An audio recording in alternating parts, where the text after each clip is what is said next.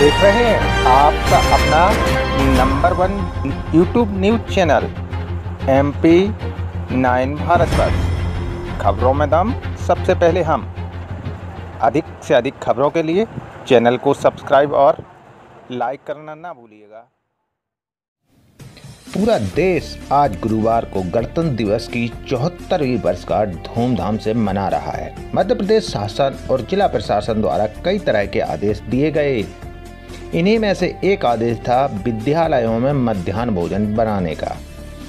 स्वतंत्रता समूह के लोगों को आदेश दिया गया था कि विद्यालय में पढ़ने वाले बच्चों को गणतंत्र दिवस के मौके पर खीर, पूड़ी, सब्ज़ी आदि का भोज कराया जाए।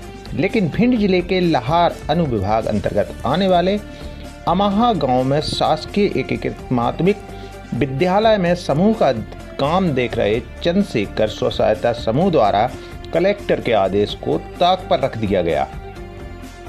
और घर में शादी का बचा हुआ खाना बच्चों को परोस दिया गया।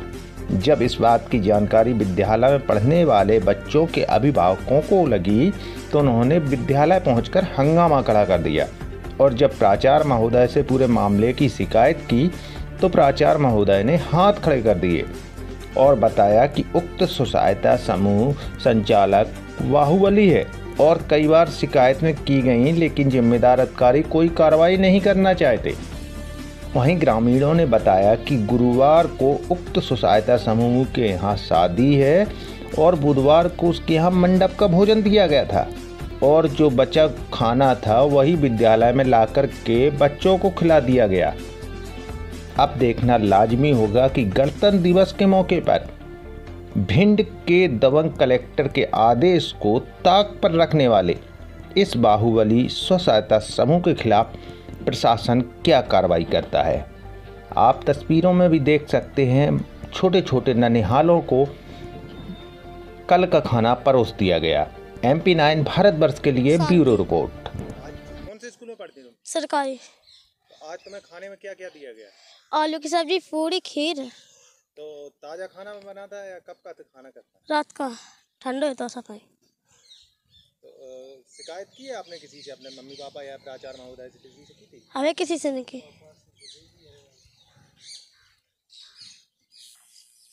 बेटा आज स्कूल में तुम्हें खाने में क्या क्या मिला? है बासो खाना। अच्छा, तो कौन से स्कूल में पढ़ती? सरकारी। कौन से गाँव में? अब हाँ तुमने अपनी हेडमास्टर से नहीं करी शिकायत की जो बासो दे दो बासो। तुम्हें कैसे पता कि बासो है खाना?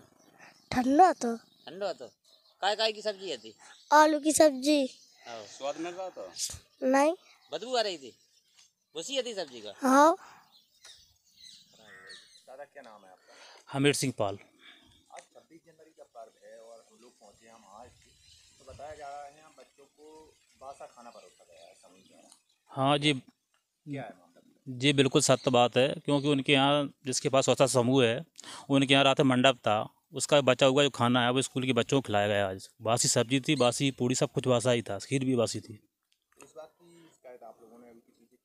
मैंने यहाँ के प्रधान अध्यापक से बोला इस बारे में लेकिन उन्होंने कहा इसमें मैं कुछ नहीं बोल सकता हूँ ये तो वही जाने जिसके पास स्वच्छता समूह है। है। ये सुषपाल सिंह परिहार के पास है। क्या चाहते हैं मैं इससे बच्चे बीमार भी हो रहे हैं और मैं इस पर कार्रवाई चाहता हूँ इस पर।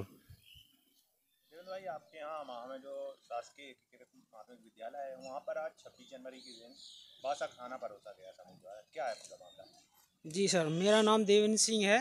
वार्ड नंबर मेरी भाभी और वार्ड नंबर दस से मेरे पापा जी मेंबर हैं। मुझे पता चला यहाँ पे कुछ लोग मेंबर लोग आए थे तो कि देवेंद्र यहाँ पे कल का खाना जो जो स्व सहायता समूह चला रहे हैं तो उनके द्वारा जो खाना बना था तो रात वाला खाना यहाँ बच्चों को खिलाया जा रहा है। तो जैसे ही मुझे खबर लगी तो मैं तुरंत यहाँ आया और उसका निरीक्षण किया, वीडियो वगैरह, वीडियोग्राफी भी की है। तो जो यहाँ के प्रधान अध्यापक जी हैं तो उनसे भी हमने वार्तालाप किए तो उन्होंने कोई जवाब सही सही जवाब देना नहीं चाहा। जब हमने वीडियोग्राफी की तो उसमें वाकई पाया गया कि जो खाना है वो कल का सब्ज़ी अब्जी है वो कल का है। और आज और जबकि आज छब्बीस जनवरी है और बच्चों को ए, स- स- अच्छा खाना खिलाना चाहिए था और जो हमारे यहाँ मेनू बार लगा है तो उसका पालन तो बिल्कुल नहीं किया जाता है।